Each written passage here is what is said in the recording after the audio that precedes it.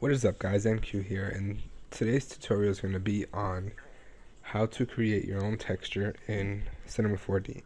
I touched on this in a previous tutorial, and I'm just going to go more in depth with it. So, I'm just going to just start a new file in Cinema 4D, I'm just going to delete all this stuff. I'm going to make a floor, a light, bring it up to the left, gonna put shadow map soft on the light and just gonna make a sphere. Make it a little bigger. Bring it up. Alright. So right now you can see it looks pretty crappy. So for those of you who don't know how to make a your own material you just double click this box down here or you go to file new material or control N then to edit it, you can go over here, but I find it easier to just double click this so you can see the whole window. So to edit the color, right now I'm going to go through the color, luminance, transparency, reflection, bump, and glow. I don't really use diffusion, I don't find it helpful. Um, when you get more advanced with making textures, it does become helpful. Um, the rest of the stuff I just don't really use. So to change the color, it's very simple. You just go to color, and then you change it. Um, for luminance, I usually only do this for light. Um, but like, if you saw my lighting tutorial, you know how I use the luminance. But I don't really use it on, um, like if I was making a text, I wouldn't really use the luminance it does create a cool effect if you want to try it out. So reflection I use frequently, but I don't use it on 100%. I usually bring it down to 50 or if I don't want a lot of reflection I bring it down to around 11. Then I usually go to texture and then I go to Fresnel. And I usually bring the Fresnel down to go down to mix strength and bring it down. And I like it gives it a nice effect. And if you want to add a glow to it, you just click on glow. And you could play with the strengths and everything. Now I'm just going to show you guys really quick how that would look. I'm just going to take the texture and drag it onto the sphere and then do a quick render. Now it doesn't look very good at all. So I'm just going to put a simple texture on the floor Okay, so with better lighting and with other stuff in the mix, that will look a lot better. I'm just going to delete that for now because that's not really what I wanted to get into today. What I really wanted to get into is how to bring a picture from Google or you can even take a picture and making a texture from that picture. Okay, so what you're going to do first is you're going to go to Google Images.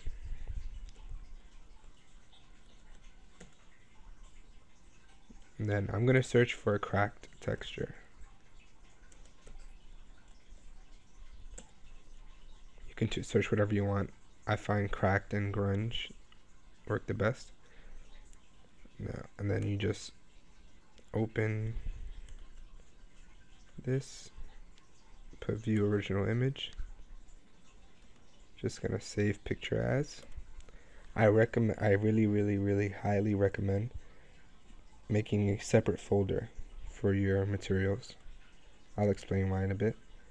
But as you can see I already have the material here. So you're supposed to click save. I'm just gonna hit cancel because I already have it. Then you just minimize it. After you save it you go to color texture load image then you go to the image. And then you go to press yes. And as you can see here your texture is right here. And you can play around if you it doesn't work as well with all textures but let's say you wanted to change the color. You could change the color there. And you could bring down right here where it says mix strength. You can bring it down here a little bit and it'll turn that color But I, I recommend just finding a texture with the color already in it. So that's how you bring the picture in. Now I'm going to show you guys, I'm going to show you guys how it looks. I'm going to show you guys how to make it look better. So that's how it looks. It's very basic. The ball's cracked. And right now I don't, I think the shadow's too dark. So I'm going to go to light. And I'm going to go down here to shadow. And I'm going to change the density to about 75. And then I'm going to render out again. As you can see the shadow is a lot lighter here. And I'm still not happy with it. So I'm just going to press Control C, Control V, make another light. Put it on the other side. Eh. I just want more lighting so you guys can see better.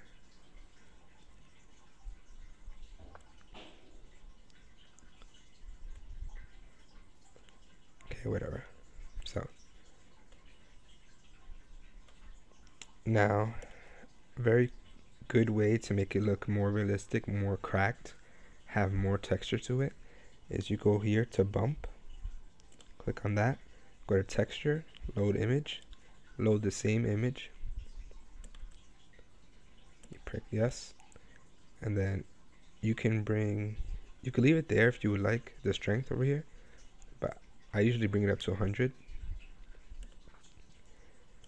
and then as you can see there's a lot more texture on it. It looks a lot more realistic. And let's say um, the texture doesn't really fit to the object you want to put it in. You can go to this right here. And okay, why is this black? Alright. You can go to this right here. And then you can play around with the length the and the offset what the length is is it changes the length of the texture itself so it makes it skinnier as you can see the it's a lot skinnier now and you can change the skinniness of the X and the Y and then you could change the offset which is just moving it left and right up and down just can press control Z and bring it back Oops, cancel. So you can do this with a lot of textures. Um, it's good to just play around with it, but uh, you guys might want to know how to bring it onto text as well, which is which is a little bit different. You go to MoGraph, MoText. So let's say you have a text you want to bring that cracked texture onto just gonna face it towards you make it a little bigger and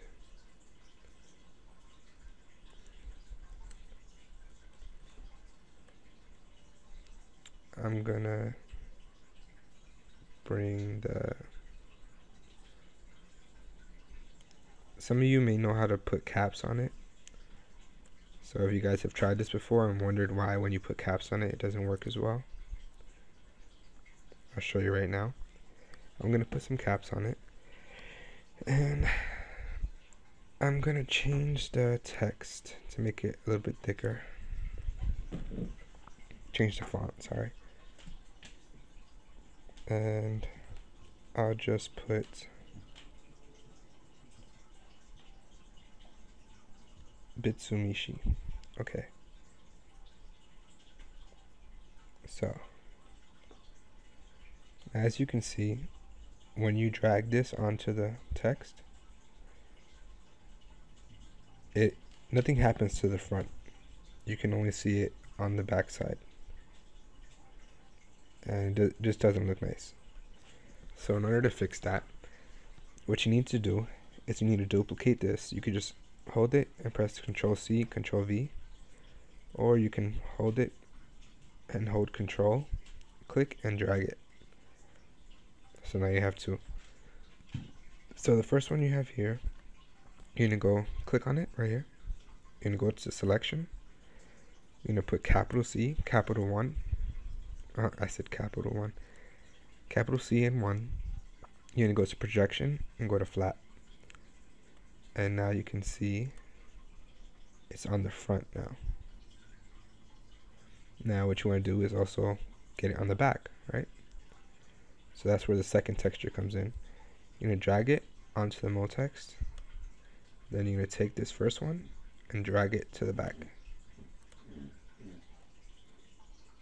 and now you have it on the whole thing let me zoom in so you guys can see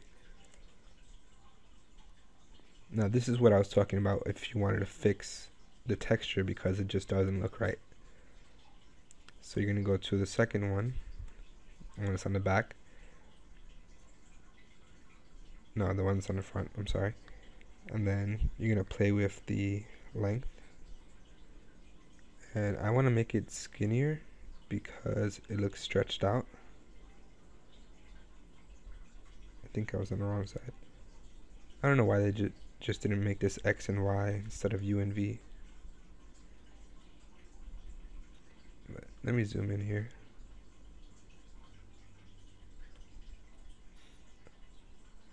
So you can see how I'm making it stretch further.